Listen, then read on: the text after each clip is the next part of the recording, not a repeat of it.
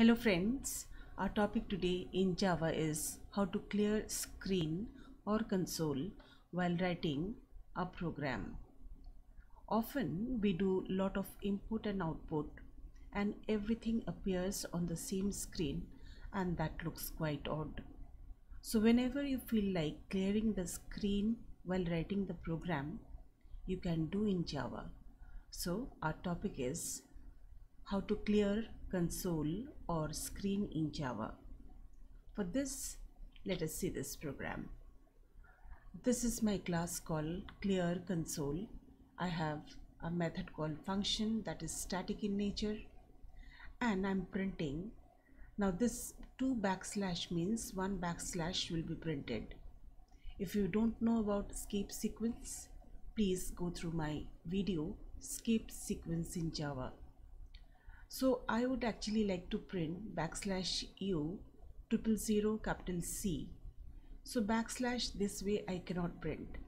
So I have to use the escape sequence backslash.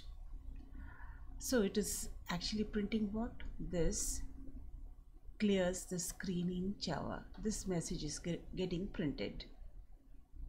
And in the next line you're printing.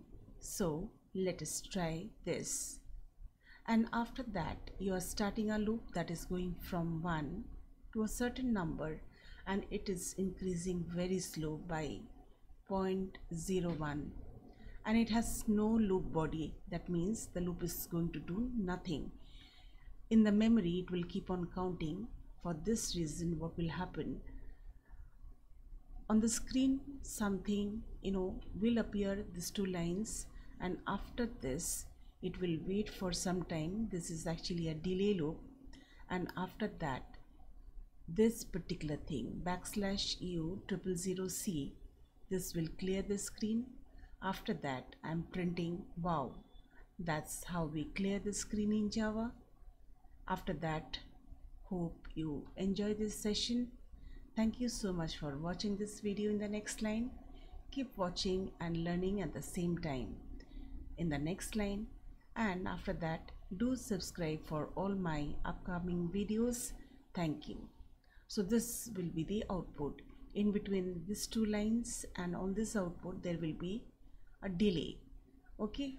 So let us now go to our BlueJ window and let us run the same program. Okay? So this is already copied let me compile no syntax error and then you run this function one method. Terminal window I have to show you somewhere out here only yeah.